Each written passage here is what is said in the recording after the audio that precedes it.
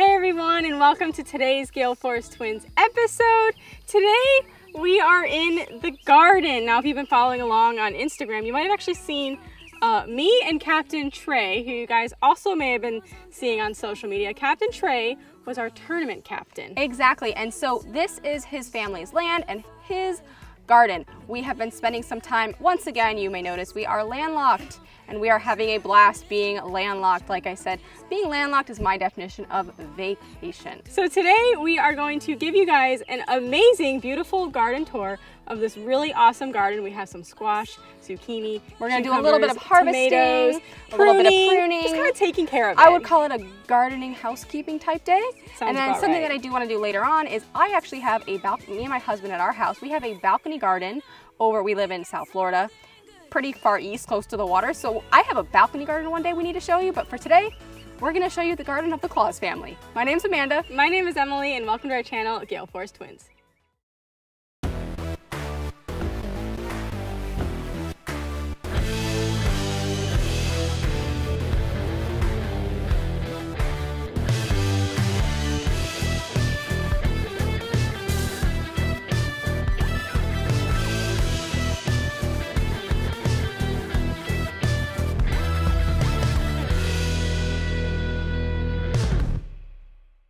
It looks like the chickens wanted to come over and say hello. They're in there, we call it the chunnel, the chicken tunnel. So the chickens see us out here, they wanted to come check us out. Mara is definitely chicken curious, but she'll leave them alone. Mara, come on. Of course, we have to start in the tunnel. So between Emily and I, Amanda speaking here, I would say that I have more of the green thumb. Do I, Emily? I don't know how fair that is, but yeah, you definitely are pretty good. You got a green thumb for sure. So this here and here is, I would call it, what do you want to call it something? This is the spaghetti squash tunnel, mostly. Mostly. So a lot of this is spaghetti squash, and did you know, fun fact, spaghetti squash is considered a winter squash, as I hit my head on this squash. So we do need to get some of the bags for these. to support so, them. But Amanda, what? Why is it called? It's winter called a winter squash because did you know that once these spaghetti squashes are ready to harvest, they can last for like five, four to five months. Meaning, well, if we harvest, let's say in July or August, they're lasting through the winter. That's where the term winter squash comes from. So basically, they're shelf stable for an extremely long time. Extreme long time. So we've got a lot of spaghetti squash. You can see this guy's already supported right here. And then we can keep following me down the tunnel. We have on the left hand side, these here are the Better Boy tomatoes. So Better Boy tomatoes, you can kind of see them down here. These are gonna be great tomatoes for sandwiches and Burgers, they're slicing they're tomatoes. slicing They get nice and big. Which I have two, two um, Better Boy tomatoes in my balcony garden, but they're only about this big. And it's summer in South Florida, so we'll see how everything does. Yes. Up here, we're in Georgia, the weather's much milder. Yes, but hold on, Amanda. I wanted to check out this amazing, I think just, I don't know what, this amazing art of nature. I mean, look at that, Amanda. So these guys have, these are called tendrils right here. And these tendrils, you can see, they are grabbing on to support the plant. So you've got all these little tendrils and all these flowers and leaves opening up, which will eventually turn into more squash. I mean, look at this tendril going from here all the way, you see it? Here, Yep. all the way to here. It's really, truly incredible that literally a, a plant is capable of A that. plant's capable. And then down here, these guys right here are some pole beans. These were just planted, Just is why they're pretty planted, freshly planted, still pretty small. And Emily, on the other side right there though, this is our zucchini, and the zucchini is, I mean, going like crazy, Emily. How many zucchinis did you harvest the other day? Oh my goodness, maybe eight and like huge ones. See that big one back left? Probably eight of them in just every day, every single day. Right here, these are going to be bush beans. So, fun fact, it's pretty self-explanatory, but the bush beans you can see are kind of creating like a bush. a bush. And then what we showed you earlier was pole beans. So pole beans are going to kind of grow up just like trellis. on a little like trellis, like pole bean, bush bean. Fun fact. And then Emily, the corn is behind you. I think you need to tell the corn All right, story. I got a really cool corn story, guys. Here you can see corn, which I'm really, really excited about. First of all, I think corn is so a beautiful plant as it grows. Secondly, the story. All right, so we had a bag of deer feed, which was corn. Then we had a bag of soil. Then we had a mouse. And this mouse, they were both open near each other, got into the corn, the corn, the deer feed, the deer feed, ate it. ate it or I don't know, carried it into its mouth, like kind of, you know, hamsters do that. And then it got into the soil and it dropped the corn into the soil and the corn sprouted in the bag of soil. And it was like, you know what? Let's plant the sprouts. In honor of the mouse, we need to be planting this corn. Clearly, it was meant to be that we should have corn. So here we have this amazing. I mean, it's as tall as you. Corn so far. I know. I mean, I'm for perspective. A lot of people ask us on social media if we're tall, and they think we're like five six, five seven. I'm like, five, I'm almost five four. So for perspective, this corn's probably almost six foot now. And here we have the jalapeno peppers. So all these guys here are peppers. This guy needs support right here. Peppers tend to do better with support. See always on the ground. So we're gonna definitely get a support for that guy. So we have a bunch of jalapeno peppers here. And we also have some buds and flowers coming in.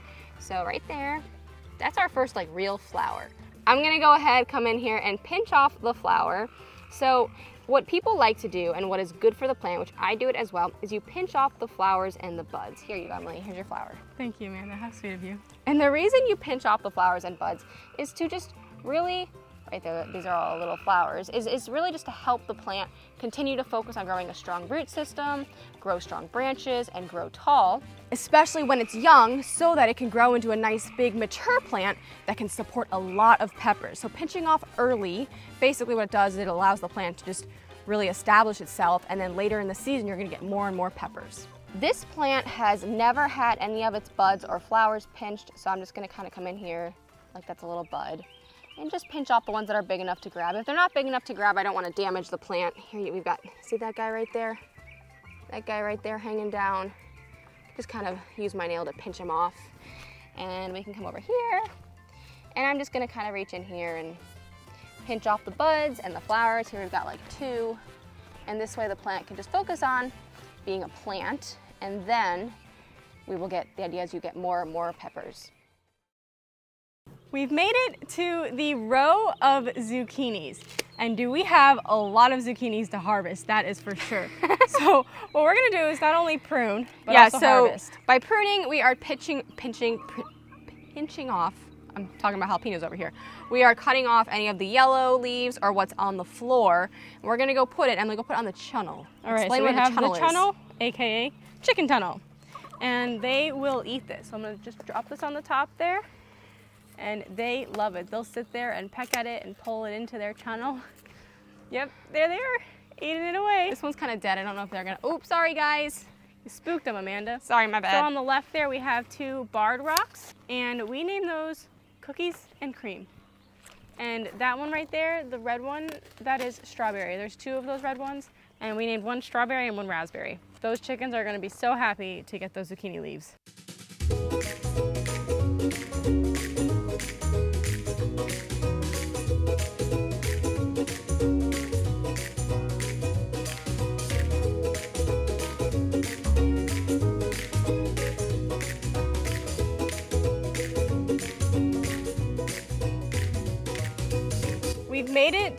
The Roma tomatoes.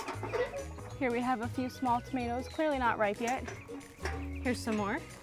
And these tomatoes are gonna make for really, really good salsa, tomato sauce, things basically other than slicing because they are smaller and they don't have huge as many seeds.